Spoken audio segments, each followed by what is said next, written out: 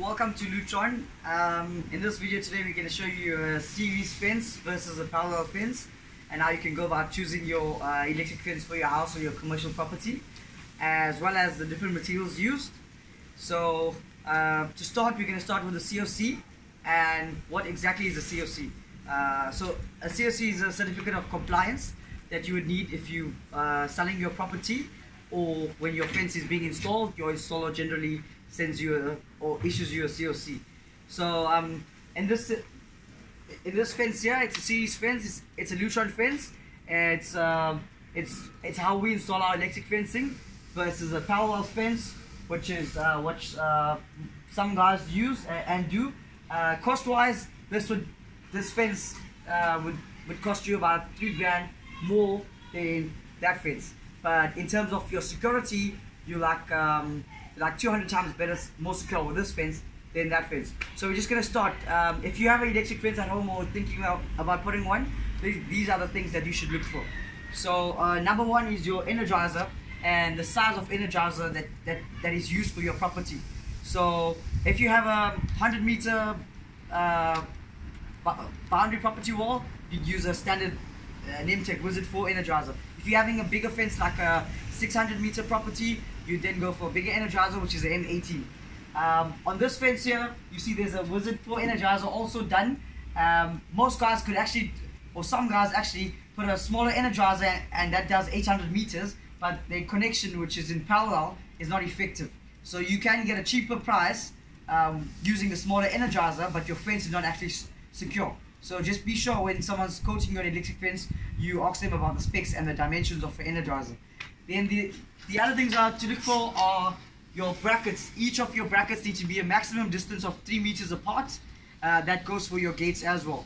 And then your your warning signs, which, which we call danger signs, needs to be a maximum of 10, 10 meters apart. And you should have them on your property. If you don't have any of these things mentioned so far, your fence is not legal or COC compliant. Then you you should have earth spikes. You should have three earth spikes. In this video, you can't see earth spikes but you should have three earth spikes at your energizer or below your energizer or to the nearest point and then one one earth spike every 30 meters following that.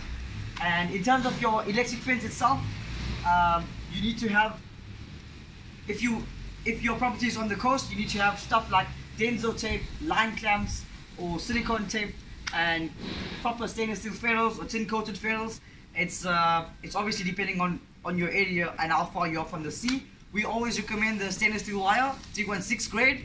Um, if you're about 10 kilometers away from the coast, you could go with the 1.2 mil. If you're within 5 kilometers of the coast, we recommend the 2 mil at least. Um, so these, this is the energizer, this is a siren. We always recommend a siren on our fences. Uh, you could put an electric fence up without a siren. Uh, the downside to that is when the fence alarm is activated, the, the Energizer makes a noise, and if the Energizer is installed in your garage or your room, you're not going to hear an alarm. Where if you have a siren, you're going to be alarmed by the siren noise, and, and, and obviously you know that someone's in, into your property. Then you can also put additional stuff like uh, a light indicator, we call a fence light, that blinks every second the fence uh, pulses, and that will show you that your fence is on. So you have peace of mind. And um, from here, we're going to show you, this is a called surge arresters. This is essential for COC. It's to protect your fence from lightning and your energizer. And what we want to demonstrate now is a series fence you'll actually see. So in this fence, the power direction travels on the first wire along here, loops up to the third wire, comes along this way, goes back up, comes along this way, goes back up, and effectively goes along that way, comes back and returns to the energizer. That's a series connection, and that's how a series fence should be connected. Effectively, if you cut any of these live wires, it should trigger your alarm. Uh, that's how an electric fence should be installed. That's how it's meant to be installed. Uh, however, if you've got a big fence like an 800 meter fence, you can't use one energizer. You've got to use a two zone energizer or two energizers. You get guys who actually use this energizer and connect the fence like in parallel, and that's when you start having issues. So I'm now going to demonstrate by cutting the live wire. So you guys can just maybe come close. You can see that the fence is on. This light indicates the fence is on. And I'm just quickly going to grab a meter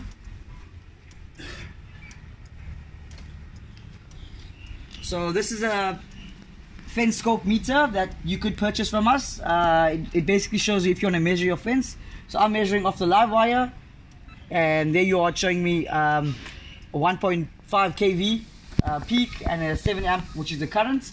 Um, the reason for the 1.5 being so low at this point is, is there's no earthing into the ground. So there's no earth sparks. So we're now going to demonstrate by starting to cut the wire and fence is connected properly, you should trigger the alarm. This is if an intruder was trying to separate your wires or trying to cut it. I hope this is going to insulate me, but here goes.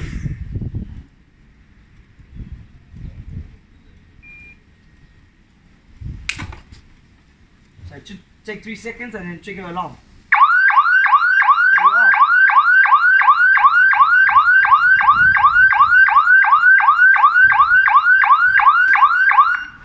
So there you are. Uh, luckily my pliers did insulate me. So this is if an intruder cut, cut any of your wires, that will trigger the alarm after 3 seconds. So this happens before the guy can actually enter your property, which uh, will obviously alarm you before they can actually get into your house, making you safe. So now we're going to go ahead and go along this fence. Um, this is a typical type of fence that most guys would do for a cheaper price. And as you can see, uh, there's no line clamps on the HT cable, there's no Denso tape, there's no warning signs, um, there's no surge arresters and your fence is wide and parallel meaning I'm going to show you just now by cutting a wire and the, the, the siren won't trigger. Um, this is what we do not recommend and if you are having a fence something like this please give us a shout to come and have a look at your fence because if you are thinking about selling your property you're not going to get a COC for something like this. And uh, it's going to be quite quite costly to repair. So we're now going to measure the voltage in this fence. Just to show you it's also on there you can see it's showing you 1.5 kVA. Uh, the fence is on. Let's try up here. There we are. Showing you. So the way the power travels in this fence, like we went through that that side, it will travel on this first wire, but you see the bridge on, is on this side now and not that way. So that basically means the power doesn't go all the way along this line. So in in actual practice, if this fence was 800 meters long, uh, and you had uh, this is the eight line fence so you'd possibly have six live wires here. So you, so your total distance will be 800 times 6 which will be your live wire distance. But in actual fact your, your live wire distance now will just be only one length of this wire which will be 800 meters. And that's why the small energizer would effectively do your fence or you think you're doing it but, but you're not actually. So I'm now going to go ahead and cut the fence wire and show you that, that it will not activate. So we're going to go ahead so same at same point in the center we should cut the wire and you'll see why a series fence is more effective than a parallel fence. Here goes. So you count three seconds, one, two, three, so the siren doesn't activate. So this this would allow for someone to get into your property and get to you. And as you can see, the energizer still pulses. So I'm now going to show you that the that the fence is still on and, and the siren is still connected by trying to trigger the fence through a, another solution. Let's try that. That should trigger us to cross the law. This is the most unlikely place that someone would try to get in, which would be where the loops is, because uh, they would normally try to get in from the from the center. So I'm now going to trigger it, and you should see that the siren should trigger now only.